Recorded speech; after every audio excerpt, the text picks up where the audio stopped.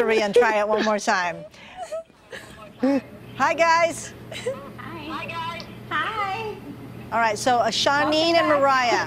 All right, we left off with the salad, then you showed us the pasta, but you got to the good stuff. Who Lisa's favorite is Yes. charcuterie Oh, board. yes. What's what's in that charcuterie board? Um, so we have a couple different types of meats, cheeses, pepperoncinis, fruits and vegetables, as well as um, crackers, artichokes, red. So we have a lot of um, different goodies to choose from. Snack on, really. Love it. Fantastic. I see you got it in a to-go box. Thank you. Can order. Yes.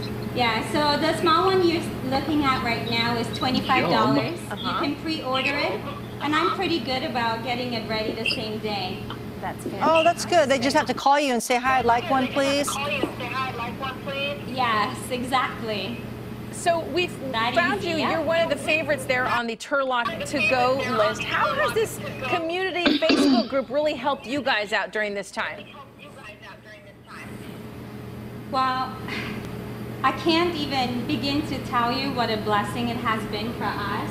It was so terrifying at the beginning because we weren't sure what to expect, really.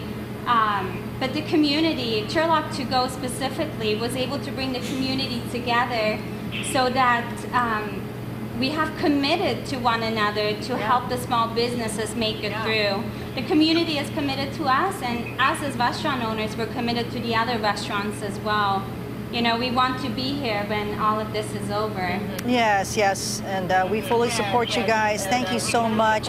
Give us, what's the name of the street again? Is it Crowell or Crowell? It's Kroll Road. Crowell Road. Okay, there you go. It's right across Vito's. from the university. Oh, okay. Oh, perfect. Vito's Ristorante and Yeah. Pizzeria. And Court, you're saying they're on that uh, Facebook page, yeah?